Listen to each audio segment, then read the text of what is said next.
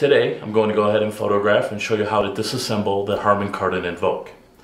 Uh, this is the latest entry from Microsoft using Cortana as a digital assistant to compete against the likes of Google Home as well as Alexa from Amazon.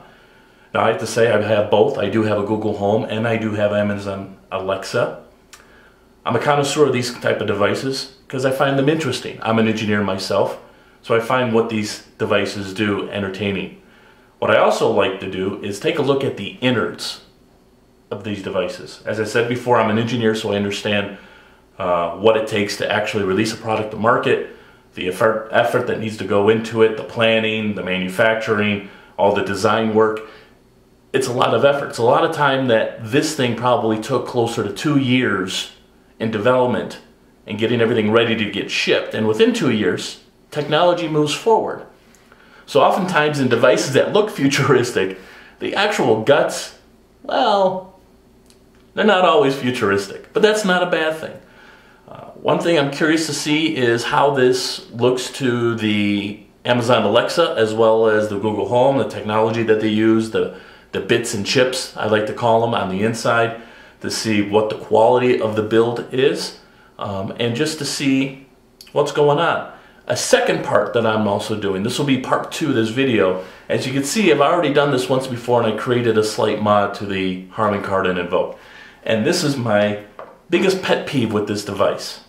It is a disposable income device. A disposable income device that's meant to be as a personal assistant to integrate with your everyday.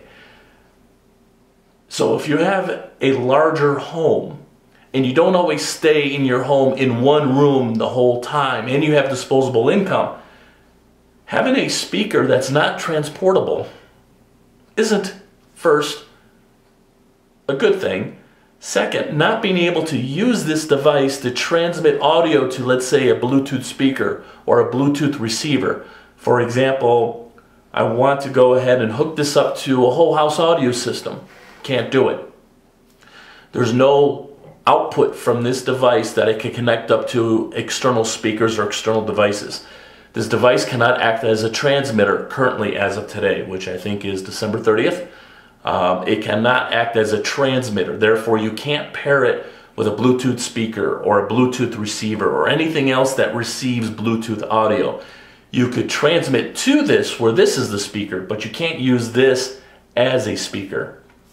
There's no line outputs on the bottom, like the Echo Dots and the Google Homes. There's, there's no line output. Therefore, you can't connect this thing to like an external amplifier or anything else like that. It is in itself a speaker. And that's it. Very disappointed. It's a very short-sightedness on the engineers at Harman Kardon. I like to believe that the actual guys working on this were yelling at the system engineers saying, guys, we need to be able to connect this thing to external devices outgoing. Yes, it's a speaker, but we also need to be able to connect it to external Bluetooth speakers. For example, you have this set in your kitchen. Let's say you have a patio and you want to go sit on your patio and listen to music. Sorry, different room, can't hear it. Either you got to turn this thing way up and you hear this big echo, or you got to unplug it and move it to the patio, unplug it, move it back in the house, unplug it, move it into your living room, unplug it, move it to your bedroom.